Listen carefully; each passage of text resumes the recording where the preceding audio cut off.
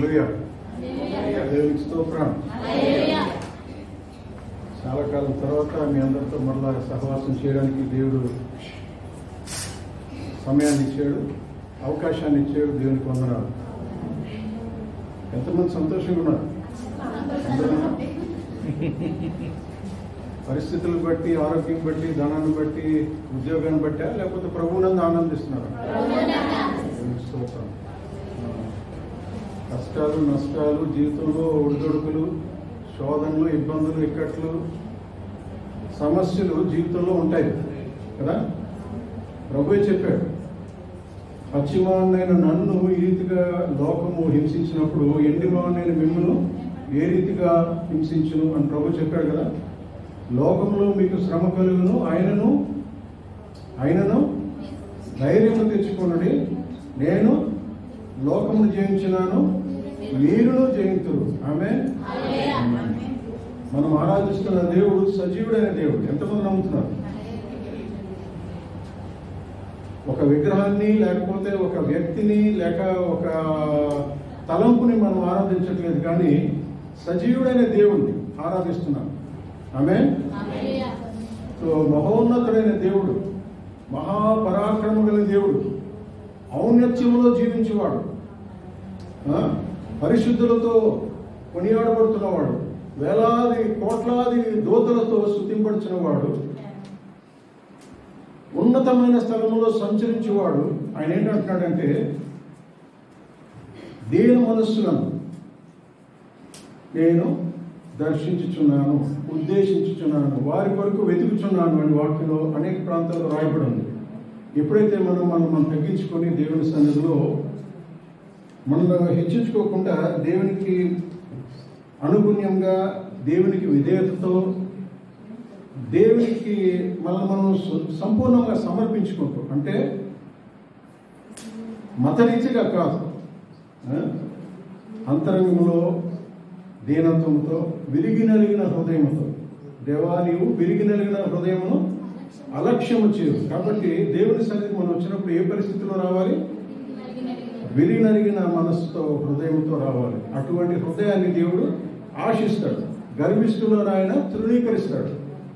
నాశనమునకు ముందు గర్వం నడుచును కదా? కాబట్టి ఎప్పుడైతే మనం మనం తగ్గించుకుంటా ఆయన బలిష్టమైన హస్తముల కింద దీన మనసుకులై ఉండి తగిన కాలం ముందు ఆయన మిమ్ములను హెచ్చించును. సో క్రైస్తవ జీవితంలో ప్రాముఖ్యమైన విషయం ఏంటంటే మనం ఎటువంటి పరిస్థితులు ఉన్నా సరే ఏ రీతిగా మనము ఈ లోకంలో ఉన్నా సరే ఉన్నతమైన ఔన్నత్యమైన పరిస్థితులు ఉన్నా మంచి ధనధాన్యాలతో ఉన్నా అందరికంటేనే శ్రేష్టమైన ఆహారం తింటూ శ్రేష్టమైన జీవితం జీవిస్తూ ఆ, సొసైటీలో సంఘంలో ఉన్నతమైన పేరు ప్రఖ్యాతులతో జీవించినా సరే అవన్నీ దేవుడు ఇచ్చాడు అవునా? యోగే ఉంటాడు దేవుడు ఇచ్చాడు తీసుకున్నాడు కదా? ఆయన ఎప్పుడైనా తీసుకోగలరు కదా? సో వాటి మనం గర్వించక ఇచ్చిన వారి ఎందు అతిశయ ఎవడైనా నచ్చించిన వాడు దేవుని ఎందు అతిశయించమని వాక్యం రాయబడింది. ఆమె సో ప్రభుని దర్శిద్దాం. మళ్ళీ మనము వాక్యం వింటున్నప్పుడు తగ్గించుకుందాం. దేవుని సన్నిధిలో విరిగిన మనసుతో మనము సమయం గడుపుదాం. నేను విన్నది ఏంటంటే ఈ దినాల్లో మనము బాప్తిసం కొరకు ధ్యానిస్తున్నాం కదా? ఈ వాక్యము నేను తీసుకోబోయే వారి కొరకు లేకపోతే తర్వాత తీసుకునే వారి కొరకే కాదు. ఇప్పుడు నేను చెప్పబోయే చెప్పబోయే తలంపులు దేవుని వాక్యం మనందరికీ ముఖ్యంగా నాకు చెప్తున్న నాకు వింటున్న నీకు అంటే బాప్తీసం తీసుకున్న వాళ్ళకి తీసుకోలేని వారికి కూడా. కదా? సో బాప్తీసం మనము కూర్చి మనము ఆలోచించే ముందు దేవుని తట్టు మన తల కళ్ళు వంచి ఉదయం నాయని వరకు తిప్పుకొని ప్రార్థన చేద్దాం. మహోన్నతమైన దేవాన్ని పరిశుద్ధ వందనాలు స్తోత్రాలు చెల్లిస్తున్నాం. ఈ దినాన్ని మా కొరకే ప్రభా సిద్ధపరిచి ఈ రీతిగా మమ్మల్ని చేర్చి నీ సన్నిధిలో ప్రభా ఏక మనస్సు ఏక ఆత్మ కలిగి నిన్ను స్థుతించుటకు నిన్ను గణపరచుటకు నిన్ను కొనియాడుటకు నీ పాద సన్నిధిలో నిన్ను కూర్చిన వాక్యములను ధ్యానించుటకు బాప్తీసం గురించిన విషయాలు మేము తెలుసుకుంటకు ప్రభా నీవు ఆశించిన జీవితం మేము జీవించాలని ఆశపడుతూ నీ సన్నిధిలో మమ్మల్ని మేము ప్రభా అల్పులమని ఒప్పుకుంటున్నాం బలహీనమని ఒప్పుకుంటున్నాం అపితరమని ఒప్పుకుంటున్నాం దౌర్భాగ్యమని ఒప్పుకుంటున్నాం అపనమ్మకస్తులమని ఒప్పుకుంటున్నాం మా పాపమును మన్నించి మా పాప స్వభావం మన్నించి మీ రక్తదారుల్లో ప్రభు మరొక మారు మమ్మల్ని జ్ఞాపకం చేసుకోవడమని కడిగి మా అంతరంగమును శుద్ధి చేసి ప్రభువా నీకు యోగ్యులుగాను నీవు వాడుకునే వ్యక్తులుగా పాత్రలుగా నీకు ఇష్టమైన జనాంగముగా మమ్మల్ని తీర్చిదిద్దమని. సాతానికి లయపరిచి మా స్వభావమును ప్రభా మా మొండి స్వభావమును ప్రభా లొంగలేని స్వభావమును అవిధేయత కూడిన స్వభావం మార్చివేసి క్రీస్తు కలిగిన మంచి మనస్సు మాకు దయచేయమని సాతాను యొక్క దుర్నీతి మాలను తొలగించి దైవ నీతిని మాలో స్థాపించమని విరిగి హృదయంతో ఇక్కడ నుంచి మేము ప్రభాని దీవులు పొందుకుని వెళ్ళగలకు సహాయం చేయమని ఒక నిర్ణయంతో ప్రభాని సన్నిధి నుండి వెడలిపోవటకు నీ దీవులు పొందుకుంటకు సహాయం చేయమని బలహీనమైన నన్ను నీ సురచాటును మరుగుపరిచి నీ తలంపులు నీ మాటలు ప్రభు దయచే నీ నాలుగు నీ నీ మనస్సుని వాడుకును. ప్రభు ఈ కొద్ది సమయంలో నీ ఆత్మ సంచలనం అందరూ అందరిలో దయచేయమని నీ నామమునే గణపరచుకోవడం యేసు పరిశుద్ధనామం వేడుకుంటున్నాము స్వామి. ఆమేన్. మార్క్స్ వద్ద పదహారు పదహారు వచనంలో ప్రభు ఒక ఆజ్ఞ చెప్పారు చదవండి ఒకసారి. నమ్మి బాప్తిసం పొందినవాడు ఆ. రక్షింపబడను. ఆ. నమ్మని వానికి శిక్ష విధింపబడను. ఇది ఎవరి మాట. ఏసై మాటలేనా? సో ప్రభు యొక్క మాట ఇప్పుడు ఎవరైనా ఇప్పుడు రాజు ఏదైనా ఒక మాట చెప్పారు అనుకోండి అవమానంతగా పాటించాలా పాటించకూడదా? పాటించాలి కదా. అది దానికి ఎన్నైనా మనం చెప్పొచ్చు కానీ రాజుగారు ఆజ్ఞ అండి అందుకే చేస్తున్నాను అంటారు కదా. కదా? సో మన ప్రభు యొక్క ఆజ్ఞ నమ్మి చెప్పండి మళ్ళీ. బాప్తిజం. నమ్మి బాప్తిసం పొందినవాడు ఆ. రక్షింపబడను ఆ. నమ్మని వానికి శిక్ష విధింపబడను నమ్మని వారికి శిక్ష విధింపబడను సో ప్రభు చెప్పిన మాటల్లో లోతైన అర్థం ఉంది. నమ్మి బాప్తిసం పొందినవాడు రక్షింపబడును.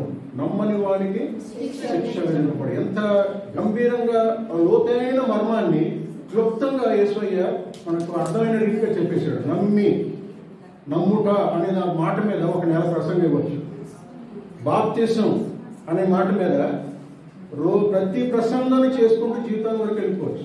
ఎందుకంటే బాప్తిసం అనే మాటలో చాలా భావం ఇమిడి ఉంది. అది అనుదిన జీవితానికి అవసరమైంది బాప్తిసం అనేది. ఒక దినానికి కాదు. ఓకే? నమ్మి బాప్తిసం పొందేవాడు రక్షింపబడును. రక్షణ ఏ రీతిగా పొందుకోవాలి అనే మాట మీద ఎన్నో ప్రసంగాలు ఇవ్వచ్చు. కదా?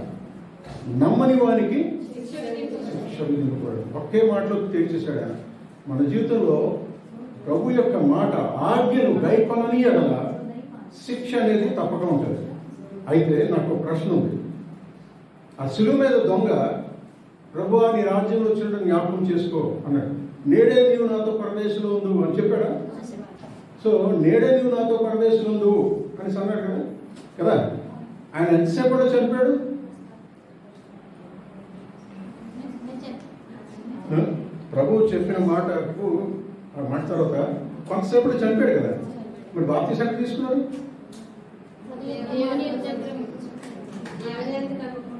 చాలా మంది ఏమంటారంటే ఆ దొంగ బాప్తీసం తీసుకుని నేను తీసుకోవడం అవసరం ఉంది అని అంటారు. కానీ అదొక అదొక సాకు లేకపోతే ఒక ఎక్స్క్యూజ్ ఆ సమయంలో ఆయన తీసుకోవాల్సిన టైం లేదు. ఒకటి ఇంకొకటి ఏంటంటే ప్రభు అనుమతించాడు అంటే ప్రభు అజ్ఞాన. ఆయన చెప్పిన మాట ఆయనే కొట్టేస్తున్నాడా? కాదు. ఆయన పరమజ్ఞాని. ఆయనకి తెలుసు. మారు మనస్సు పొందడం అనేది చాలా ప్రాముఖ్యం. నూతనంగా జన్మించితేనే కానీ పరలోక రాజ్యంలో ప్రవేశించలేడు. అని ఎవరితో ఎవరు చెప్పారు? చెప్పండి ఎవరన్నా. ఒకడు నూతనంగానే జన్మించిన జన్మించిన ఎడల పరలోక రాజ్యంలో ప్రవేశించలేడు. అయితే ఆ వ్యక్తి ఏమంటాడంటే నా తల్లి గర్భంలో మళ్ళీ ప్రవేశించిన పుట్టాలా అని అడుగుతాడు ఎవరు వ్యక్తి? ఎవరు? మత బోధకుడు ఒక పార్లమెంట్లో మెంబర్. ఒక ఒక రాజ్యం చేస్తున్న దీంట్లో రూలర్ అన్నమాట. అంటే నాయకుడు. అతను రహస్యంగా ప్రభు దగ్గరికి వచ్చి అడుగుతాడు కదా. అడిగినప్పుడు ఆయన ఏమంటాడు ప్రభు ఏమంటాడంటే ఒక నూతనంగానే జన్మించిన ఎడల జన్మించని ఎడల పరలోక రాజ్యంలో ప్రవేశించాడు అంటే మార్పు నూతనంగా జన్మించడం అంటే మార్పు. లోప తల్లి మళ్ళీ ప్రవేశించి జన్మించడం కాదు. అంటే హృదయంలో పరివర్తన హృదయంలో మార్పు హృదయంలో ఏమంటారు? పరివర్తన. ఒక విధమైన మార్పు ఒక విధమైన ఏంటంటే చేంజ్. లేకపోతే గత జీవితాన్ని విడిచిపెట్టి నూతన జీవితం వైపు వెళ్ళకపోవడం కదా? సో ఇవన్నీ ఇమిడి ఉన్నాయి. ఇవన్నిటిని బట్టి ఆ దొంగ దగ్గర టైం లేదు. కాబట్టి దేవుని ప్రభు ఏంటన్నాడంటే నీవు నాతో ఉంటావు ఇప్పుడే. దేవుని సన్నిధిలో నన్ను జ్ఞాపకం చేసుకున్నప్పుడు ఇప్పుడే నువ్వు నాతో ఉంటావు అనేసి అన్నాడు కదా. సో ఆ దొంగ పరిస్థితి వేరే మన పరిస్థితి వేరే. కానీ ఆజ్ఞను అనుసరించుట మంచిది కదా.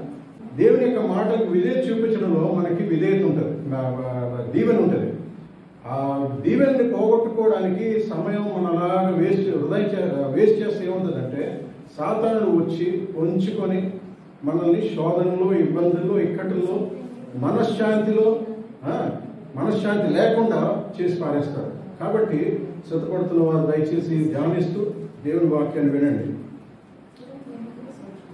ఇక్కడ పౌరులు రోమిలకు రాసిన పత్రికలో మాట్లాడుతూ ఏమంటాడంటే అలాగైనా ఏ మందును? అలాగైతే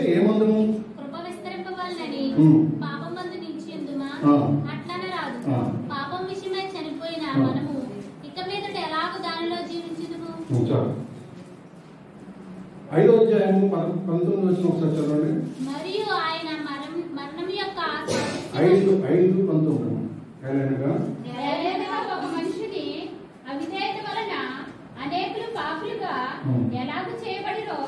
అలాగే అలాగే ఒకరి విధేయత వలన అనేకులు నీతిమంతులుగా చేయబడుదురు. ఒకరిని అవిధేయతను బట్టి అంటే ఒకరి గారు మొదటి మొదటి మనిషి పేరేంటి? ఆదాం. ఆదాం యొక్క అవిధేయతను బట్టి ఆ, మానవుడు ఎంత అంటే యేసు ప్రభు వరకు పాపము మనిషిని ఆక్రమించింది. అదే చెప్తుంది కదా ఇక్కడ? ఎలాగనగా ఒక మనిషి అవినీతి వల్ల అనేకులు పా పాపులుగా ఎలా పెంచబడియో అంటే ప్రభు వచ్చినంత వరకు ఆయన శిలువలో మరణించినంత వరకు అందరూ పాపులే. ఏ భేదం లేదు అందరూ పాపం చేసి దేవుడిని గురించిన మహిమను పొందలేకపోతున్నాం అటువంటి పరిస్థితిలో మానవాళి ఉంటుండగా అప్పుడు ఏమైంది? అలాగే ఒకని విధేయత వలన అనేకులు నీతిమంతులుగా చేయకూడదు ఒకని నీ విధేయత వలన. ఆ ఒకరు ఎవరండి? నీ కొరకు నా కొరకు మరణించిన యేసే యేసు చావుందే సిలువపై నీ కొరకే నా కొరకే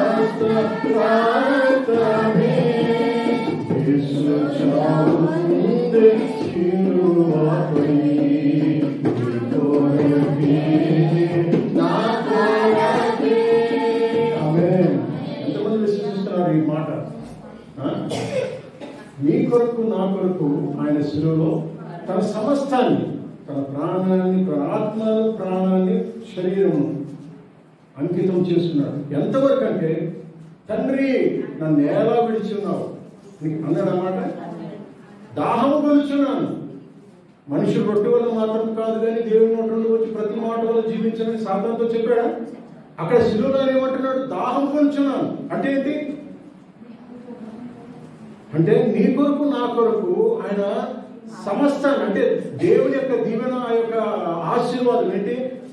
మనుషుడు రొట్టె వల్ల మాత్రంగా దేవుని నోటి ప్రతి మాట వల్ల జీవించడానికి ఆ సంబంధం. అంటే దేవుడు మాట్లాడుతుండగా ఈయన ఆకలిగా ఉన్నా సరే ఆయనకు ఆకలి ఆకలి లేని పరిస్థితిలో ఉన్నాడు ఆయన. అంటే ఆహారం అవసరం లేని పరిస్థితిలో. కానీ ఆ శిలువలో గాడబడుతున్నప్పుడు దాహం ఎందుకు వచ్చింది అంటే దేవునితో సంబంధాన్ని కోల్పోయాడు. అర్థమైందా? దేవునితో సంబంధం కోల్పోయి దాహం కొనుచున్నాడు అంటే సంపూర్ణంగా ఒక మానవుడుగా. మొదటి ఆదాము వల్ల మరణం వచ్చింది. పాపము. ఆ పాప శిక్ష ఆయన మీద మోపుకొని నీ కొరకు నా కొరకు ఆయన వేలపడుచున్నప్పుడు దేవునితో సంబంధాన్ని కోల్పోయినప్పుడు దాహం కొనుచున్నాను నన్ను ఏల విడిచితివి. మనం సాధారణంగా ఏంటంటే మంచి శుక్రవారం నాడు ఆ ఏడు మాటలు కాల్చుకొని వీళ్ళకి కన్నీళ్ళు కూడా కాల్చుతాం కదా? నేను కూడా కాల్చిన దినాలు ఉన్నాయి. చాలా కాలం ముందు అంటే ఉద్రేకంతో నిజంగా భావం. కానీ జీవితం గడుస్తున్న కొన్ని గడుస్తున్న కొద్ది నేర్చుకున్నది ఏంటంటే ఆ దినాన్ని ఊరికి ఏడ్చేయడం లేకపోతే ఒక ప్రతిష్ఠించుకోవడం లేకపోతే ఉపవాసం ఉండి ప్రార్థన చేయడం లేకపోతే ఆ దినాన్నే పరిశుద్ధంగా ఆచరించడం కాదు. అనుదినం ఒకరు నన్ను వెంబడింపబోనేలా తను తాను ఉపేక్షించుకొని ఉపేక్షించుకొని. తన శిలను ఉపేక్షించుకొని అంటే చదించుకొని నేను కాను క్రీస్తు. పౌరు అంటాడు కదా? తన శిలువను ఎత్తుకొని నన్ను అనుదినం వెంబడించాలి కదా? మన జీవితంలో బాప్తిసం పొందిన వారందరం కూడా ఆ రీతిగా మనం ప్రవర్తిస్తున్నాము. ఇక్కడ మూడు విషయాలు మనం గమనించాలి. యేసు ఆ కడపటి ఆదాం ఏం చేశాడైనా అలాగే ఒకరి విధేయత వలన అనేకులు నీతిమంతులుగా చేయబడదురు.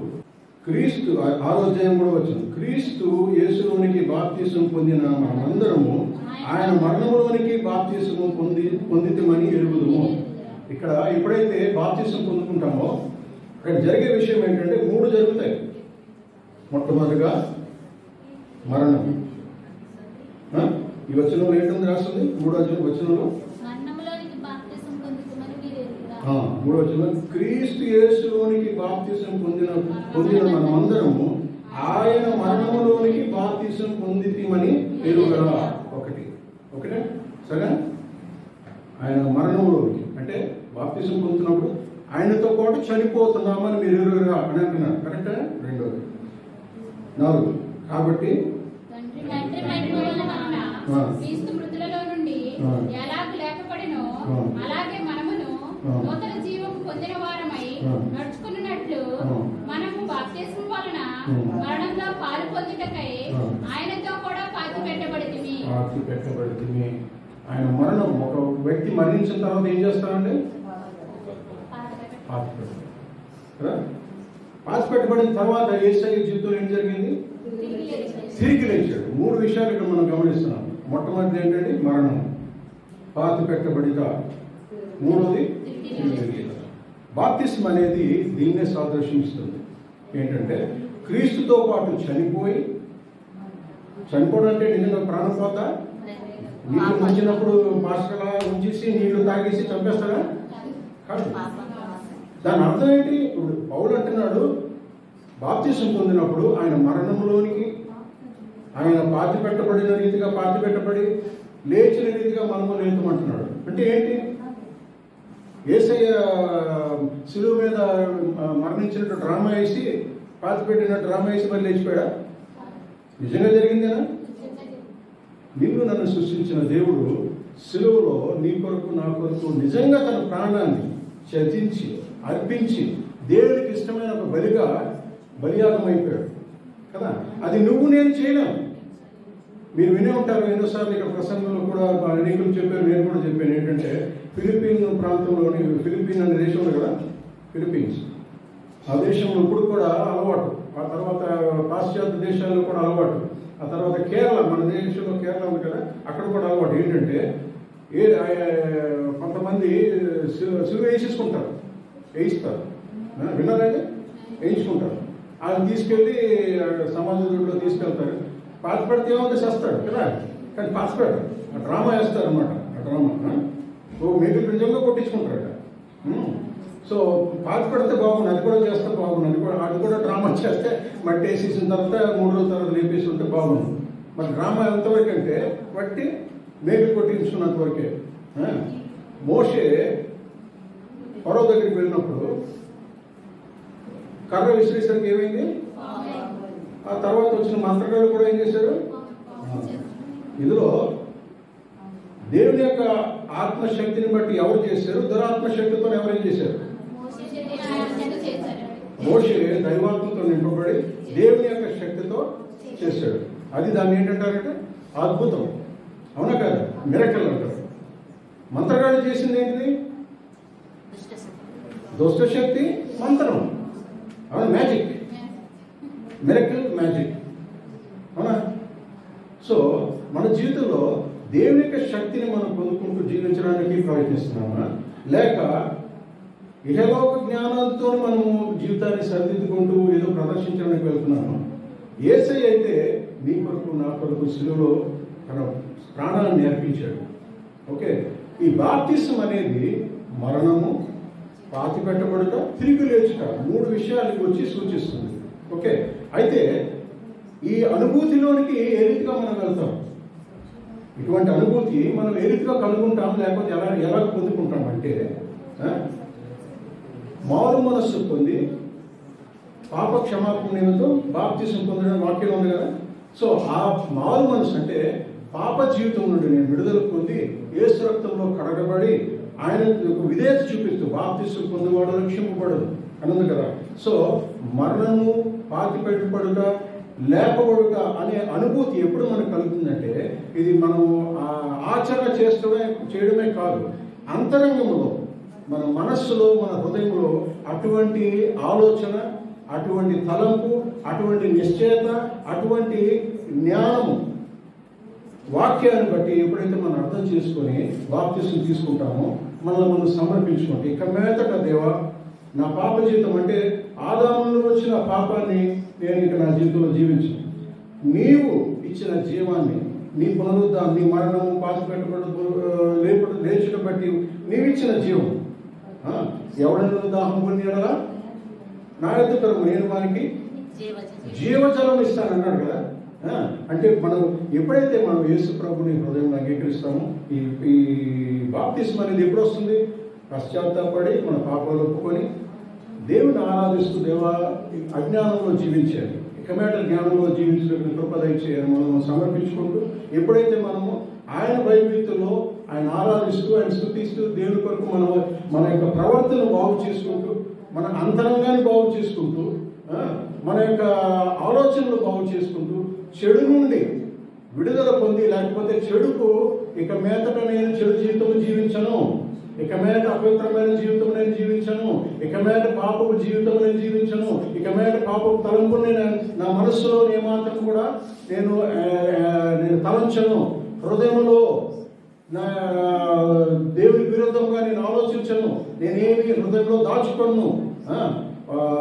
ఎక్కడది మార్క్స్ వార్త ఏడో అధ్యాయం పద్నాలుగు వచ్చిన అనుకుంటాను. హృదయంలో నుండి బాహ్యం నుండి బాహ్యమనే అంతరంలో ప్రవేశించిన మనిషిని అపవిత్రపరచు కానీ ఏంటంటే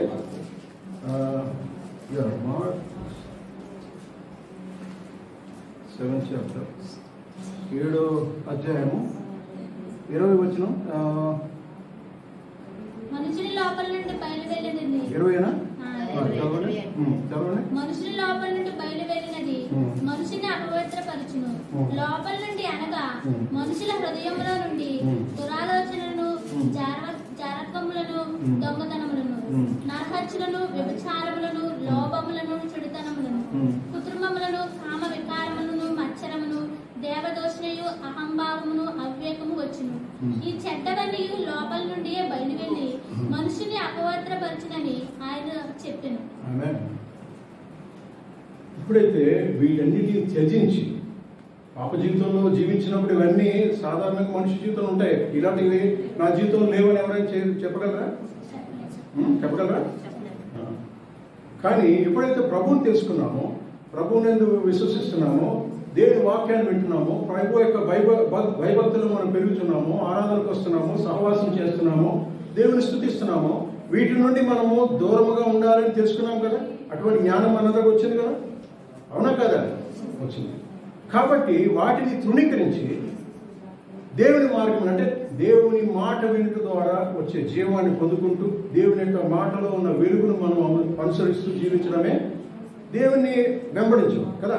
ఇక్కడ రోమిల్ రాసిన పత్రిక పౌలు ఎనిమిదో అధ్యాయం కొద్దాం. మనం క్రీస్తుతో కూడా చనిపోని ఎడల ఎక్కడమ్మా? ఏ వచ్చిన చదువుతున్నారు ఎనిమిదో వచ్చినమాట ఆరో అధ్యాయం ఎనిమిదో వచ్చిన ఆరోగ్యం ఎనిమిదో వచ్చిన చదువుతున్నారు ఆ, చెప్పండి. మనము క్రీస్తుతో కూడా చనిపోని ఎడల. మృతులలో నుండి లేచిన క్రీస్తు ఇకను చనిపోడనియు.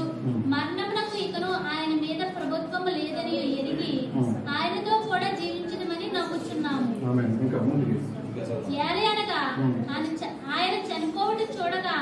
పాపం విషయమై Hmm. ఒక్క మారే చనిపోయిను.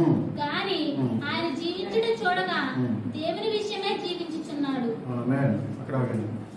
ఎప్పుడైతే మనం బాప్తీసం తీసుకుంటామో నీళ్ళలోకి మనం ఉంచినప్పుడు ఆ, ఆయనతో పాటు సమానముగా అంటే నీళ్ళలోకి వెళ్ళిన వెంటనే నీళ్ళలో నిలబడినప్పుడు ఏంటంటే ఆ శిలువ మీద ఆయన అయితే వేలాడబడి ఉన్నాడో ఆయన ప్రాణాన్ని ఏ రీతిగా అయితే ఆ శిలువ మీద తాన ప్రాణాన్ని త్యజించాడో తండ్రికి క- సమాప్తమైనదని చెప్పి నీకు నా ఆత్మను అప్పగించుకుంటున్నానని పలికాడు కదా.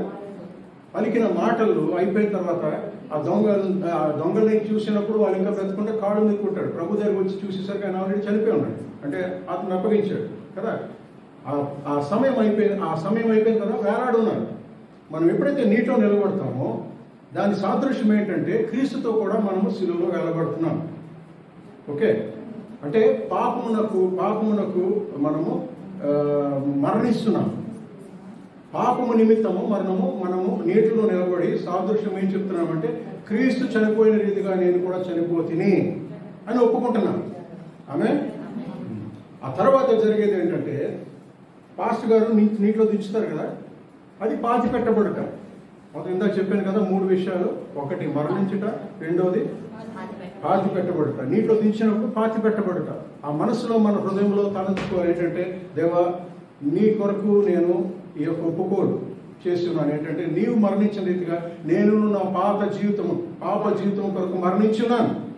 ఇప్పుడు నేను నీటిలో ఉన్న నీటిలోకి వెళ్తున్నప్పుడు నీవు పాతి పెట్టబడిన రీతిగా నేను పాతి పెట్టబడి ఉన్నాను ఆమె లేపినప్పుడు ప్రభు నీ కొరకు నేను లేచి ఉన్నాను.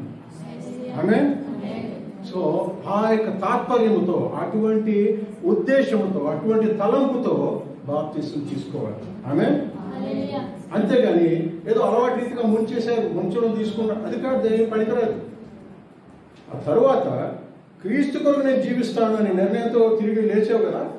లేచిన తర్వాత నీవు నేను దేవుని యొక్క నీతి మార్గములో నడుచుకోవలసిన బద్దులమై ఉన్నాను.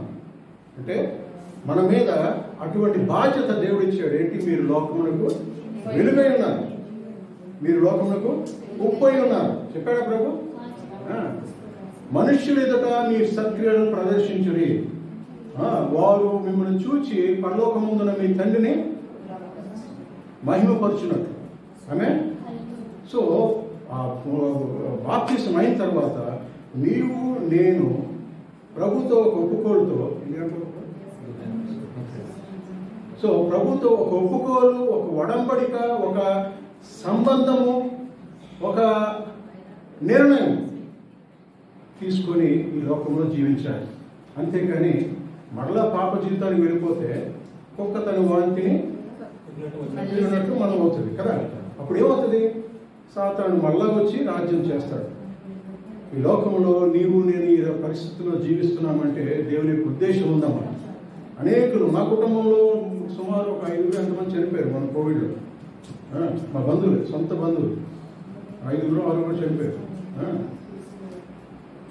మనం ఏ రీతిగా జీవిస్తున్నాం? దేవుడు ఇచ్చిన ఈ యొక్క జీవితాన్ని దేవుడు సమృద్ధి అయిన జీవంలో మనం తీసుకెళ్ళాలని మనం ఫలించాలని అధికంగా ఫలించాలని ఆశిస్తున్నాడు. ఇటువంటి పరిస్థితుల్లో సజీవుడైన దేవుని మనం ఆరాధిస్తున్నాం. ఒక విగ్రహాన్ని ఆరాధించలేదు. కీర్తనలు.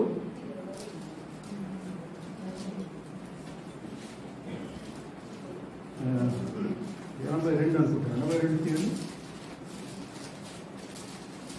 ఆ. ఆరో వచ్చిన మీరు దై-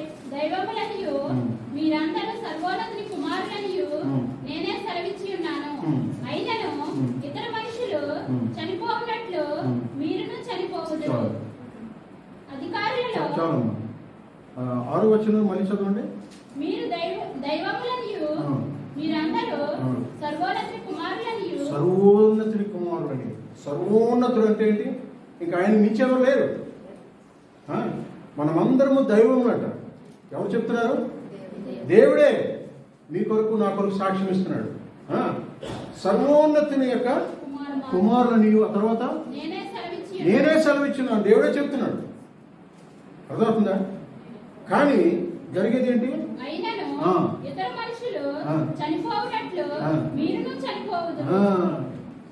అయినను.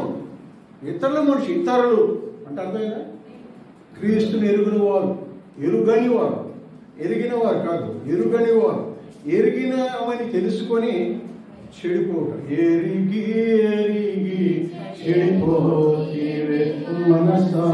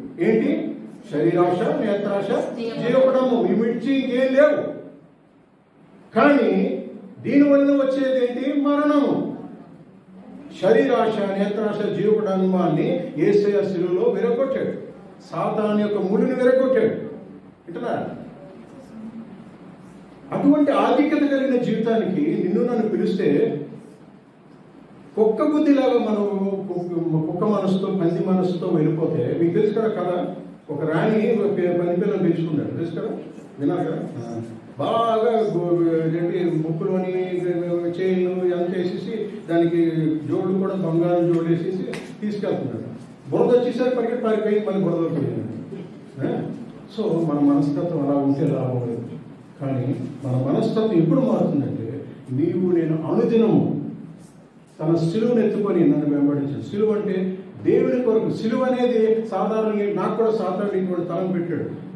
క్రైస్తవ జీవితంలో శ్రమలు శ్రమలు శ్రమలు ఎప్పుడు చూసినా బాధలు ఉంటాయి. ఈ జీవితంలో జీవించలేవు అనేక సంవత్సరాలు నన్ను బాధించాడు. కానీ మళ్ళీ వాక్యం ఏంటంటే నో అది కాదు. దేవుడు సజీవుడైన దేవుడు. నన్ను నడిపిస్తాడు. మళ్ళీ తర్వాత శ్రమలు. కానీ ఒక దినాన్ని దేవుడు ఆయన వాక్యం ద్వారా సంధించాడు.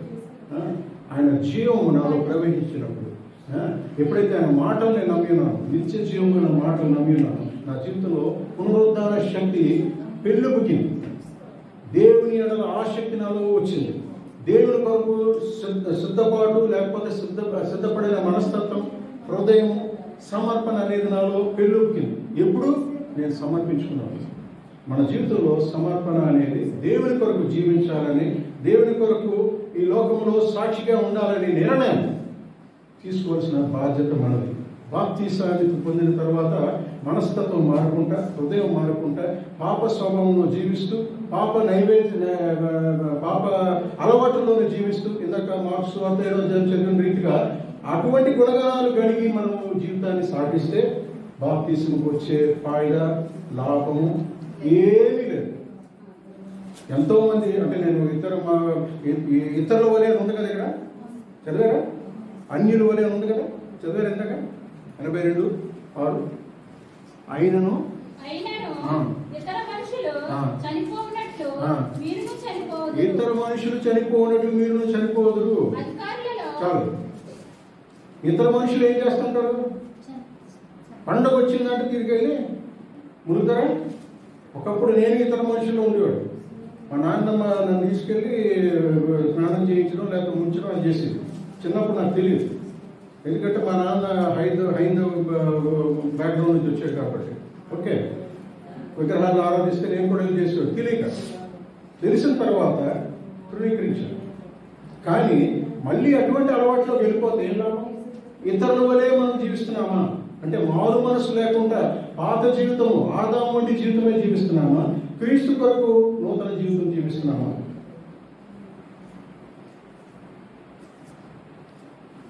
ఎనిమిదో అధ్యాయము రోమ రోమిలికి రాసిన పత్రిక ఎనిమిదో అధ్యాయం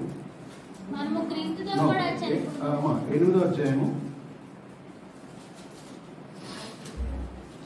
ఐదో శరీరానుసారులు శరీర విషయం మీద మనసు ఉంతురు ఆత్మానుసారులు ఆత్మ విషయం మీద మనసు.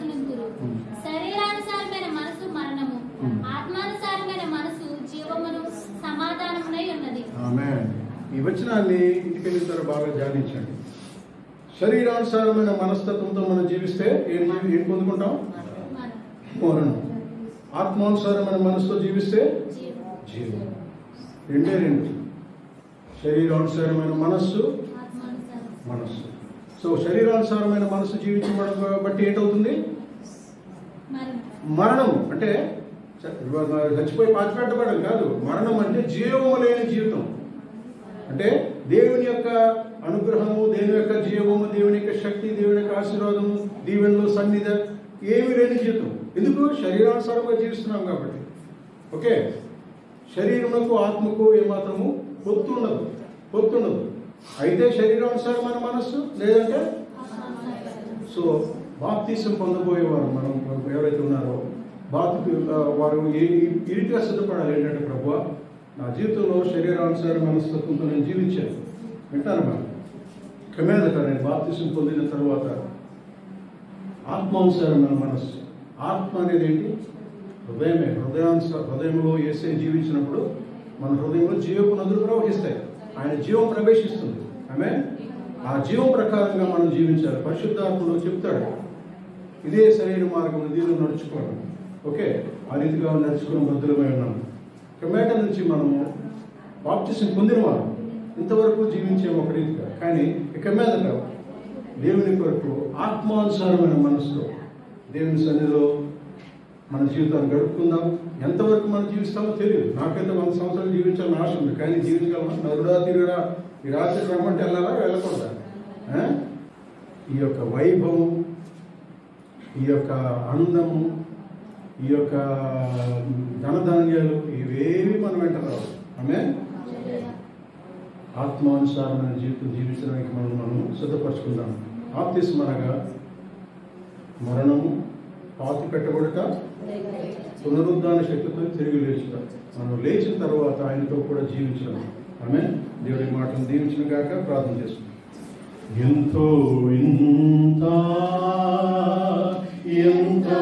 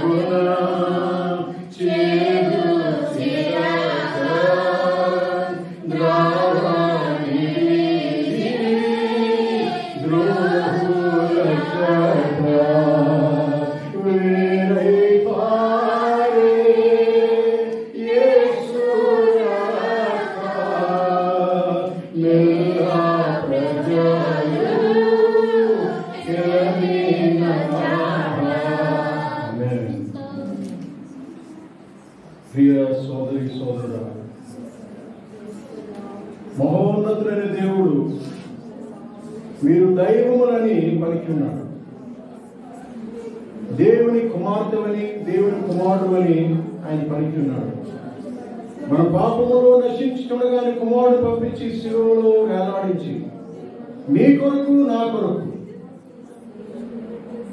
ఆఖరి బొట్టు రక్తము కాల్చినంతగా బలియాగము చేసి ఉన్నాడు నమ్మి బాప్తిసం పొందినవాడు రక్షింపబడను నమ్మని వారికి శిక్ష విధింపబడను బాప్తిసం పొందిన మనము నమ్ముచు పరిశుద్ధతలో దైవ నీతిలో ఎదుగుచున్నామా? శరీరానుసారమైన మనస్తత్వంతో జీవించుచున్నామా? ఆత్మానుసారముగా జీవించేవారు దేవుని తృప్తిపరచరు శరీరానుసారంగా జీవించేవారు సాతాన్ని తృప్తిపరచరు ఈ దినాన్ని ఒక నిర్ణయం తీసుకుందాం. దేవా గత జీవితంలో గత కాలంలో నా మనస్తత్వం ప్రకారంగా శరీరానుసారంగా జీవించినాను బాప్తీసు పొందిన తర్వాత కూడా నాలో ప్రభా నిజమైన మార్పు లేదు. నన్ను క్షమించు. మన పాపమును మనం ఒప్పుకొని ఎడలాయన మొదలైన వాడు నీతి కనుక సమస్త పాపం నుండి దుర్నీతి నుండి మనల్ని పవిత్రులుగా చేయను. మన పాపము లేని వారు మనం అనుకొని ఎడలా ఆయనను మనం అబద్ధకునిగా చేతము. దేవుడు అబద్ధకుడు కాడు ఆయన ఒక మాట చెప్పినాడు. మీరు దైవములు. సాతాను మిమ్మల్ని నాశనం చేసినది. ఈ నా కుమారుని యొక్క రక్తము ద్వారా మిమ్మల్ని కడుక్కొని మరలా నా రండి. నా జీవం మీలో ప్రవేశపెడతానని ఏసయ్య ఒక మాట చెప్పినాడు. ఈ సాయంత్రం సమయంలో బాప్తీసం పొందబోయేవారు ఇంకా బాప్తీసం తర్వాత తీసుకుందాం అనుకున్న వారు కూడా. దయచేసి హృదయంలో ఒక నిర్ణయం తీసుకోండి. ఇక మీదట నా జీవితంలో ఆత్మానుసారముగా దేవుని యొక్క ఆత్మ నడిపింపుకు లోబడి దేవుని యొక్క వాక్యములకు లోబడి నేను జీవిస్తాను. సాతానుకు లోబడి నేను జీవించను. శరీరానుసరణ మనస్తత్వంతో నేను జీవించను. అనే ఒక నిర్ణయాన్ని తీసుకుంటూ మనం మనం సమర్పించుకుంటూ దేవుని సన్నిధిలో ప్రార్థన చేసుకుందాం.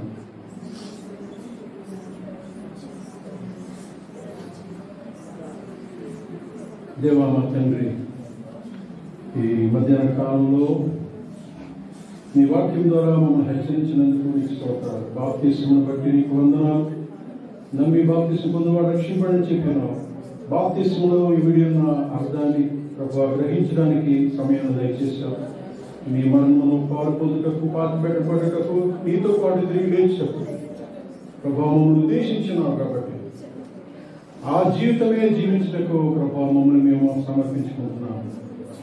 నీ రక్తంలో ఒక మారుమూలు కడుగుతున్నాను కడుగున్నాను ఇక మీదట నీ కొరకు విజయమైన జీవితం జీవించటకు సహాయం చేయమని పెట్టుకుంటున్నాను మా సొంత జ్ఞానాన్ని మా యొక్క మనస్తత్వాన్ని ప్రభా నీకు సమర్పిస్తున్నాను ఇక మీద జీవించడానికి ప్రభా మా మట్టు కాదు కానీ ప్రభా నీవే నడిపించమని నీ ఆత్మతో మమ్మల్ని నడిపించి నింపి బలపరిచి స్థిరపరిచి నీ మార్గంలో నడిపించమని నీ మహిమాతమే మమ్మల్ని జీవింపచేయమని అనుక్షణము అనుదినము ప్రభా మా సెలవులు ఎత్తుకొని నిన్ను వెంబడించడం సహాయం చేయమని కూడిన దీవి నీ బిడ్డలందరినీ దీవించమని యేసు పరిశుద్ధ నామం బట్టి పెట్టుకుంటున్నాను స్వామి. ఆమేన్. హల్లెలూయా ఆమేన్. స్తోత్రం.